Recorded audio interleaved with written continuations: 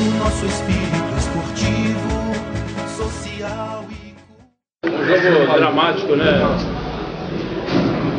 Pela circunstância da partida, um jogo de estreia para o América em casa com a obrigação de vencer, após tanto tempo longe da, da primeira divisão.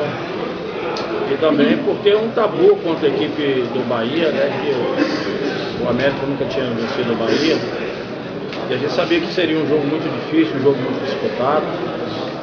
Nós tivemos o início do jogo até bom e depois, é, numa infantilidade, né, cedemos uma penalidade para a equipe é, do Bahia, a equipe se perdeu um pouco e cedemos espaço para o adversário. Então nós tivemos erro de posicionamento no meio campo, é, erro de marcação.